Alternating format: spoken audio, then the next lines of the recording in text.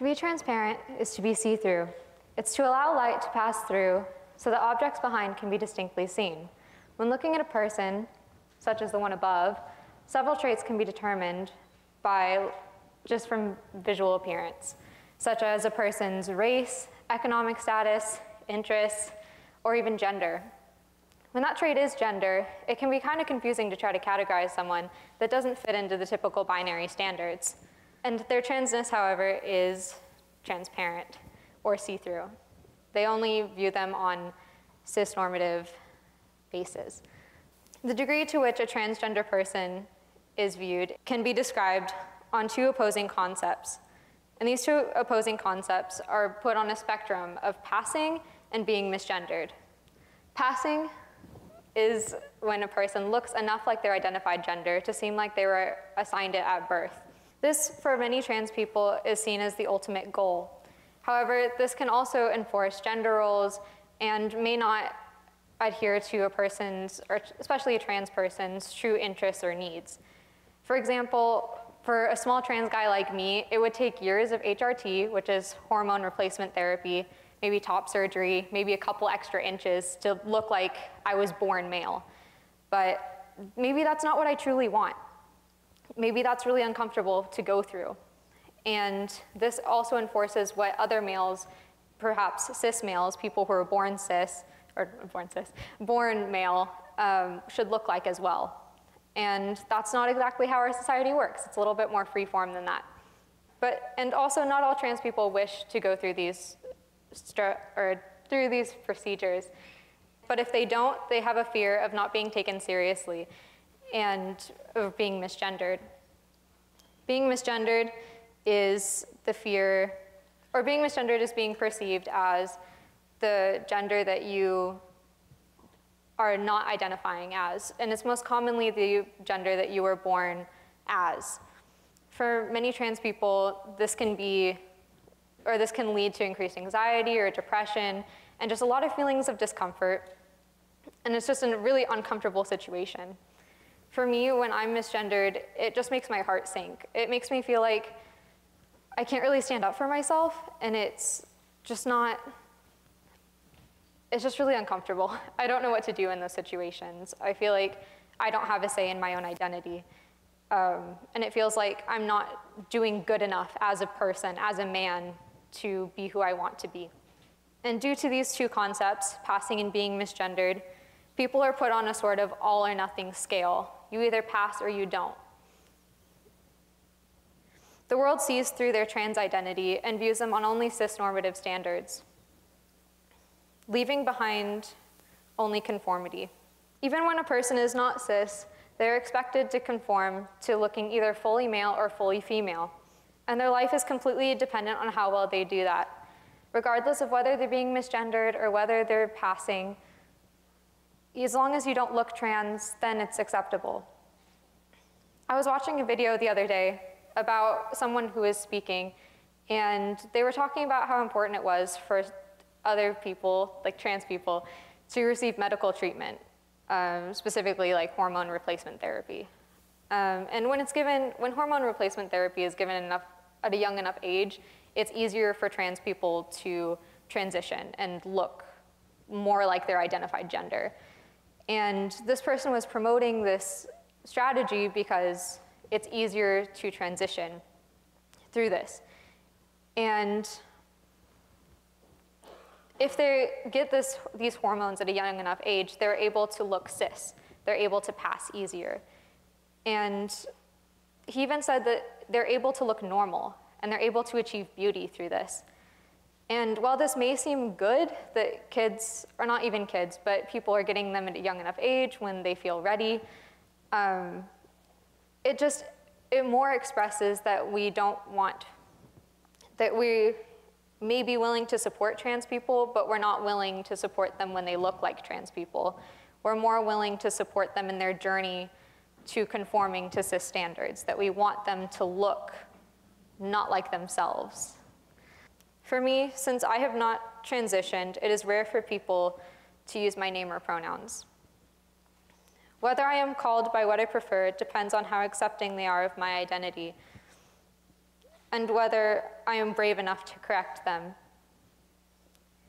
Even though I pretty much look trans, a lot of people don't really go by that. Some will call me by my name and pronouns, and others won't. I live by two separate identities, just depending on how willing they are to cooperate with my lifestyle. It doesn't matter who I say I am, it just matters on how they view.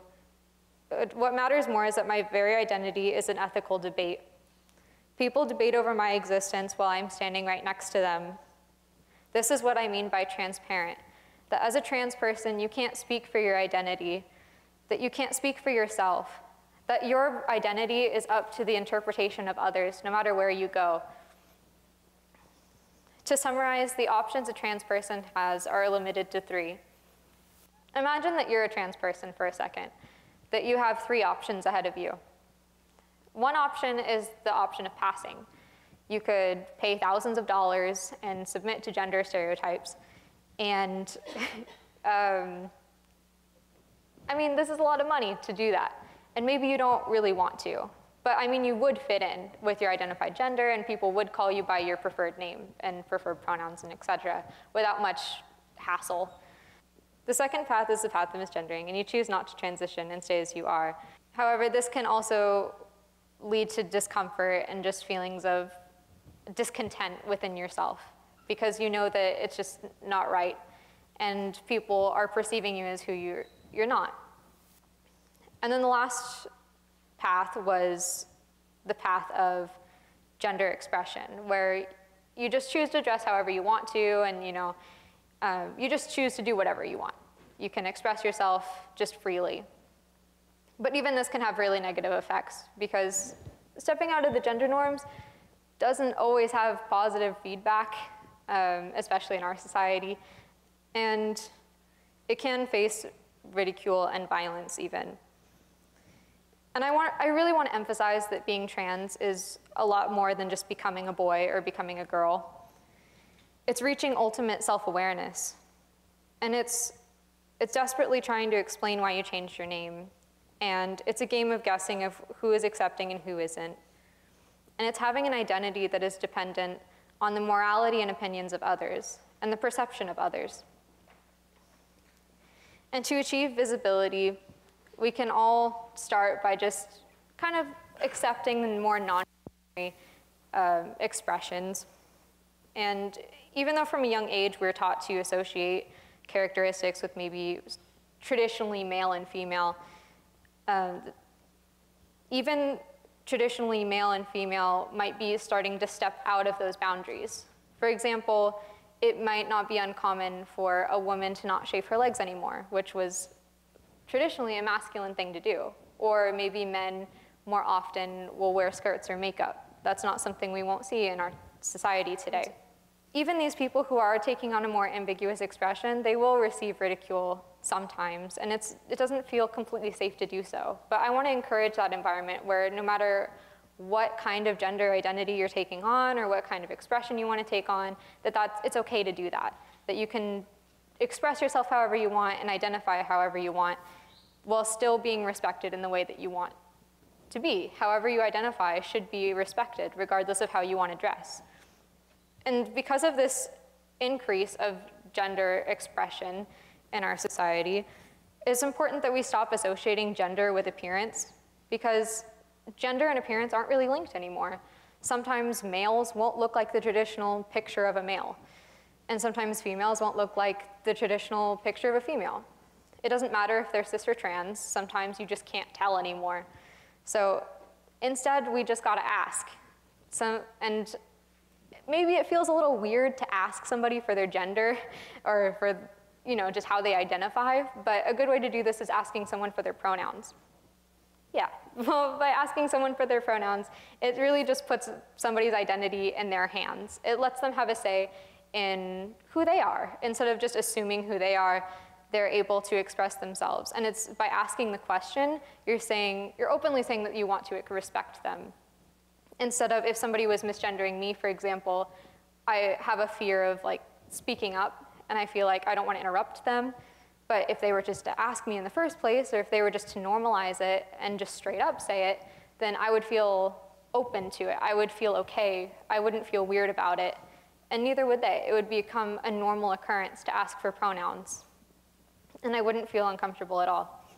So if we normalize the action of asking for each other's pronouns, we wouldn't associate gender with appearance anymore, and we wouldn't have to worry about disrespecting anybody based on their appearance or creating discomfort within our society.